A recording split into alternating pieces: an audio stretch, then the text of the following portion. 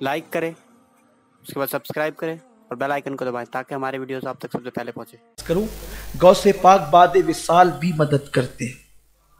امداد کی بہت سے واقعات سنے میں ہندوستان کا واقعہ بیان کرنا چاہتا ہوں۔ رنجیت سنگھ کا دور حکومت تھا۔ رنجیت سنگھ کا دور حکومت تھا اور ایک ہندو کے بازو میں ایک بدعقیدہ رہتا تھا۔ ہندو کی بیوی بڑی خوبصورت اور حسین تھی، جمیل تھی۔ وہ بدعقیدہ نے اس ہندو کی بیوی کو دیکھ لیا اور دیکھنے کے بعد اس پر فریبتا ہو گیا۔ وہ دماغ لگانے لگا کہ کسی بھی طرح سے اس ہندو کی بیوی کے ساتھ میں نے اپنی نسانی خواہش کو پوری کرنا ہے۔ اب ہمارا مذہب ہندو ہو یا مسلمان، ہر ایک کی عورت کو احترام کی نگاہ سے دیکھنے کا حکم دیتا ہے۔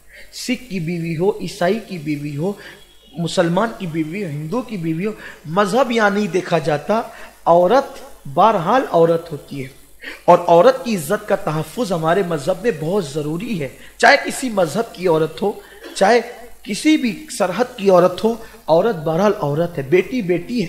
کافروں کی بیٹیاں رسول اللہ کی بارگاہ میں لائی گئی اور ان کے سروں پر دوپٹے نہیں تھے تو اللہ کے حبیب نے اپنی چادریں ان کے سروں پہ ڈال دی۔ اور ہمیں بتایا کہ بیٹی کسی کی بھی ہو، بیٹی بیٹی ہوتی ہے، عورت کسی کے گھر کی بھی ہو، عورت عورت ہوتی ہے۔ تو اس نے چونکہ تھا بدعقیدہ رسول اللہ سے اس کا رشتہ نہیں تھا تو وہ پاپی تھا۔ مجرم تھا۔ دیکھو، حضور سے جس کا رشتہ کٹ جاتا ہے، وہ پاپی ہو جاتا ہے۔ اگر کسی کے دل میں پاپ جنم لیتا ہے، تو اس کو احتساب کرنا چاہیے کہ کہیں مدینے کی سرکار سے میرا رشتہ تو نہیں کٹ گیا؟ مدینے کے تاجدار سے میرا رشتہ تو نہیں کٹ گیا، یہ بہت عبرت کی بات ہے، دل میں خیال رکھنا اچھی طرح سے، جس دن دل پاپی ہو جائے، کہیں سمجھ لینا کہ مدینے کی تاجدار سے اپنا رشتہ کٹ تو نہیں ہو رہا ہے، اور کے تاجدار سے اپنا رشتہ کمزور تو نہیں ہو رہا ہے، منقطع تو نہیں ہو رہا ہے، اس کا بہت خیال کرنا، کیونکہ جب تک اس بارگاہ سے رشتے جڑے ہوتے ہیں، انسان کی نگاہیں پاکیزگاہ پاکیزہ ہوتی ہے باحیا ہوتی ہے، کان باحیا ہوتے ہیں، اس بارگاہ سے رشتہ جڑنے پر انسان کو بڑی پاکیزگی نصیب نصیب ہوتی ہے۔ اللہ مجھے اور آپ سب کو بھی پاکیزگی عطا فرمائے، کیونکہ پاکیزہ بارگاہ سے جڑنے والا پاکیزہ ہی ہوتا ہے اور پاکیزہ بارگاہ سے دور ہونے والا پاپی ہی ہوتا ہے۔ تو اس ہندو کی بیوی سے اس کا، اس کی آنکھیں لڑ گئی اور اس کو پاپ کا دل چاہا۔ موقع کی تلاش میں تھا وہ، لیکن پھر یہ ہوا کہ اس کو موقع نہیں ملا گاؤں کے اندر۔ تو اتفاق سے وہ میاں بیوی دونوں جا رہے تھے۔ اس کے میکے پہنچانے کے لیے اس کا شوہر جا رہا تھا۔ غریبی کا دور تھا، اس وقت لوگوں کے پاس اتنا مان نہیں تھا۔ تو پھر یہ ہوا کہ وہ دونوں چلے جا رہے تھے۔ اس کو جب خبر ملی تو خبر ملنے کے بعد اس نے سوچا کہ فائدہ اٹھانا چاہیے۔ یہ ان کے پیچھے گھوڑا لے کر کے چلا گیا۔ اس کے شوہر سے کہا کہ چلو گھوڑے پہ بیٹھ جاؤ۔ اس نے کہا، نہیں، میری بیوی ساتھ میں میں کیسے بیٹھ سکتا ہوں؟ کہا، دونوں بیٹھ جاؤ۔ کہا، نہیں، میں نہیں بیٹھ سکتا۔ میری بیوی کو لے کر کے۔ تو بیوی کو کہنے لگا کہ تم بیٹھ جاؤ۔ اس نے کہا، نہیں، میں نہیں بیٹھ سکتی۔ آخر کار یہ ہوا کہ جب بہت اصرار کیا، شدت کی، ڈرایا دمکایا تو اس عورت نے کہا کہ میں تمہاری میں اور میرا شوہر تمہارے گھوڑے پہ ضرور بیٹھ جائیں گے، لیکن ایک شرط ہے، تم ضمانت دو کہ ہمارے ساتھ برائی نہیں کرو۔ ہمارے ساتھ غلط نہیں کرو گے بدنیتی تمہارے اندر نظر آ رہی، بدنیتی نہیں کرو گے اس نے کہا، کس کی ضمانت دوں؟ یہاں تو کوئی ہے نہیں۔ اتفاق سے چونکہ ایک دوسرے کے پڑوس میں رہتے رہتے ایک دوسرے سے باتیں سننے میں آتی ہے، اس پڑوس میں تو بدعقیدہ تھا، اس پڑوس میں گوس پاک کی کوئی کنیز رہتی تھی، اس سے اس کی دوستی تھی۔ تو وہ جو کنیز تھی گوس پاک کی سنی کنیز، وہ اس کو بتاتی تھی کہ ہمارے مرشد گوس پاک ہیں۔ ان کی کرامت یہ ہے، وہ مدد کے لیے آتے ہیں، وہ امداد کے لیے آتے ہیں۔ ان کو پکارو تو وہ مدد کرتے ہیں اور یہ ہوتا ہے اور یہ ہوتا ہے اور یہ ہوتا ہے اور یہ ہوتا ہے اور یہ ہوتا ہے۔ یہ سب چیزیں وہ بتاتی تھی۔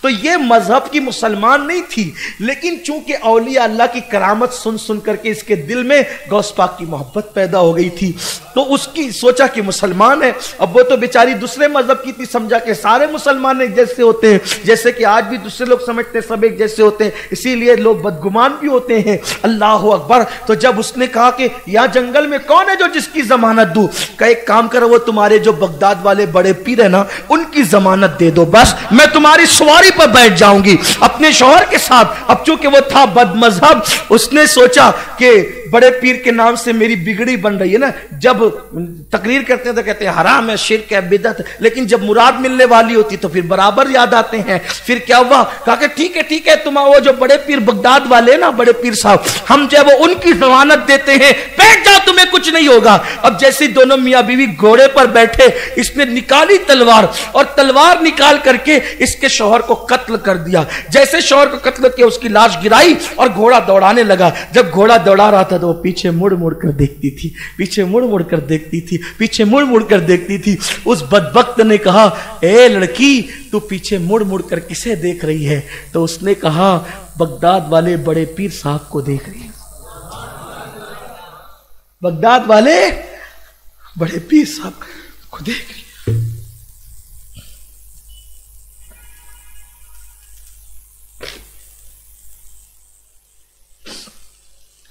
بغداد والے بڑے پیر صاحب کو دیکھ کہا کہ وہ عبد القادر اس کو مرنے ہوئے تو صدیاں بیت گئی ہے اور وہ تو بغداد میں قبر میں ہے، وہ تیری کیا مدد کرے گا؟ وہ تیری کیا مدد کہا، کچھ بھی ہو، تو نے ان کے نام کا لے کر کے مجھے بٹھایا تھا۔ مدد تو میرے بڑے پیر ہی نے کرنا ہے۔ اس کی زبان سے یہ جملے نکلے تھے۔ ہند کا اتحاس گواہ ہے ہند کی تاریخ گواہ ہے دو برکا پوش دو نقاب کو اس نے فوراں سامنے دیکھا، ان لوگوں نے گھوڑا روک دیا، اس لڑکی کو نیچے اتارا اور اس بدبخت کو قتل کیا۔ اور اس کے بعد اس سے کہا، بیٹی، آگے بڑھ۔ اس کے شوہر کے پاس گیا، جو سر کٹا ہوا تھا، سر کو جوڑ کر کے کہا، کم بزن اللہ. اس کا شوہر زندہ ہو گیا۔ وہ گھوڑا لے کر کے دونوں میاں بیوی جب آئے، تو رنجیت سنگھ کے وہ کچہری کے اندر وہ مقدمہ اس کے رشتہ داروں نے دائر کیا کہ یہ گھوڑا تو فلاں کا ہے، یہ میاں بیوی گھوڑا لائے کہاں سے ہمارا آدمی نہیں نظر آتا، انہوں نے قتل کیا، ہمارا آدمی چاہیے ہمیں۔ جب کچہری میں مقدمہ آیا تو میاں بیوی نے کہا، بھائی، یہ تو بات ہے، لیکن ہم نے اس کو قتل نہیں کیا۔ قتل تو کسی اور نے کیا۔ تو یہ بات ہے، کیسے مان لیں گے؟ تو کہا کہ اپنے گاؤں میں جو گل محمد مجزوب ہے نا مجزوب وہ جو دو پرکا پوش آئے تھے، ان میں سے ایک آواز اس کی لگتی تھی، اس مجزوب کی۔ اس مجزوب کو پکڑ کے لاؤ، وہ شاید بات کرے۔ تو حضرت گل محمد مجزوب کو جب پکڑ کے لایا گیا، تو انہوں نے پورا واقعہ بیان فرمایا، کہا کہ ایک تو گوس پاک تھے اور ایک تو میں تھا۔ اس کی امداد کے لیے۔ یہ سرکار گوس پاک ہندو بھی پکارے مدد کے لیے، میرا مرشد آتا ہے۔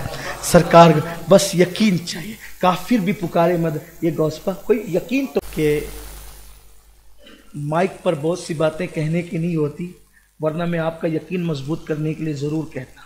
کتابوں میں جو لکھا ہے وہ تو لکھا ہوا ہے۔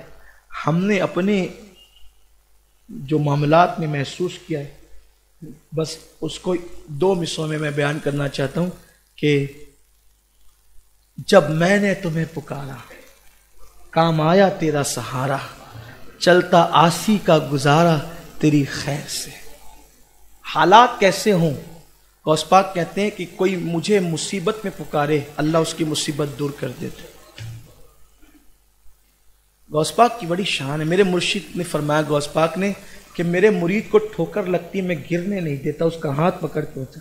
بس کوئی ان کا مرید بنے۔ مرید بننے سے مراد ہے کہ دل سے ان سے سچی وہاں شک و شبہ نہیں، یقین، بڑے پیر صاحب، غوث پاک صاحب، پھر دیکھو الحمد للہ تعالیٰ، ان کی بڑی برکتیں۔ غوث پاک کا حال یہ تھا کہ غوث پاک کا نام کوئی بے وضو لیتا تھا، تو وہ مر جاتا تھا۔ غوث پاک کا نام کوئی بے وضو لیتا تھا، تو ہمارے بزرگوں نے یہ بات صوفیہ نے کہی ہے۔ ممکن ہے آپ اس پہ اعتراض کریں، جو بھی ہو، لیکن صوفیہ کہتے ہیں کہ بے وضور کا نام کوئی لے نہیں سکتا تھا۔ لیکن رسول پاک نے عبد القادر میری امت پہ رحم کرو، لوگ اس طرح سے نقصان اٹھائیں۔ کہا ٹھیک ہے کہ اب نہیں مرے گا۔ بے غسل اگر وضو، بے بے غسل ناپاکی میں نام لے گا تو اب نہیں مرے گا۔ لیکن صوفیہ اہل اللہ اب بھی کہتے ہیں، اگر ناپاکی میں اب بھی کوئی گوس پاک کا نام لے تو کم سے کم اس کا اتنا نقصان پہنچتا ہے کہ اس کا ایک بال ٹوٹ کر گر جاتا ہے۔ ایسا ہمارے اسلاف کہتے ہیں، ہمارے بزرگ کہتے ہیں گوس پاک کی شان بہت بڑی آپ کیا سمجھتے ہیں گوس پاک؟ گوس پاک کی شان بہت یہ کیا کم شان ہے کہ جہاں جبریل تھک کر بیٹھ جاتے ہیں سدرا پہ۔ جہاں جبریل امین ہم رسول ملائکہ سے غیر رسول کو فضیلت نہیں دیتے، لیکن ذالک فضل اللہ یوتی میشا جبریل امین جا اور کوئی نہ جا سکے، وہاں سرکار گوس پاک کی روح رسول اللہ سے ملتی ہے۔ اور کہتی ہے کہ حضور میرے کندھوں پہ قدم رکھے حضور جو سدرہ سے آگے بڑھے اور کعبہ کوسین میں پہنچے تو ایک روایت خود امام علیہ سنت نے بھی لکھا اس کو کہ رسول پاک نے گوس پاک کے کندھے قدم کعبہ کوسین پہ رکھا۔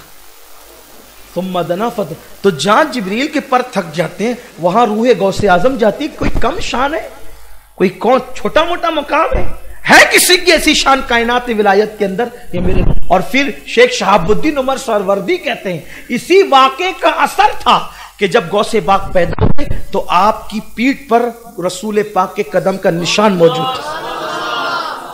یہ حضور غوث پاک کی رشتہ مضبوط کرو، مصیبتیں نہیں آئے گی۔ نہیں آئے گی مصیبت، رشتہ۔ اور آئے گی بھی نا تو زیادہ دن تک ٹکے گی نہیں، بھاگے گی۔ میں ہمارے مرشدان طریقت میں سے ایک بزرگ ہے، حضور اچھے میاں مہاروی ان کا شعر مجھے بہت اچھا لگتا ہے۔ میں، مجھے بہت لذت آتی ہے، کہتے غلام غوث اعظم، اس کو یاد کر لو، اگر مصیبت میں پڑھو تو مصیبت بھاگ جاتی ہے۔ غلام غوث اعظم، بے کسو مزتر نمی مانن۔ غلام غوث اعظم، بے کسو مزتر مانن، شب مانن، شب دیگر نمی مانن۔ کہتے ہیں گوس پاک کا جو غلام ہے، وہ بے کس اور پریشان کبھی نہیں ہوتا۔ اور اگر ہوتا ہے تو صرف ایک رات کے لیے ہوتا ہے، اس کے بعد پھر کبھی نہیں ہوتا۔